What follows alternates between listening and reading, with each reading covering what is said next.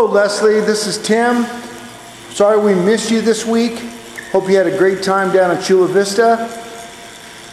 In terms of EMG electromyography wireless with cycling, we're over at Canal Fit, my friend's Keith's place, and we're doing electromyography on the thighs and on the glutes.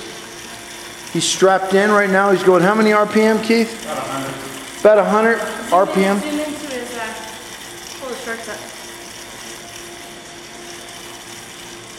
Yes. That's the electrode. Leslie, right thigh, left thigh. And on his glutes, we're not going to show you that.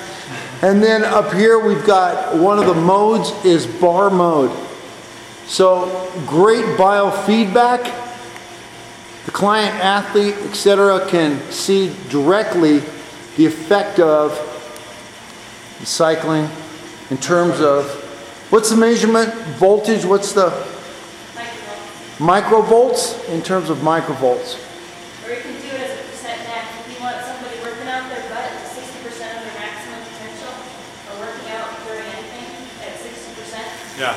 you don't want people skipping and just working out to ten percent. You want them up, so you can do it based on a max potential too.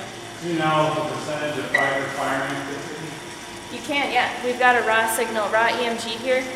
Um, it's, it's being processed as we speak, but we'll break it down to raw so you can look at the fatigue rate over that, this session. I'm actually still recording. We've been recording for a few minutes now.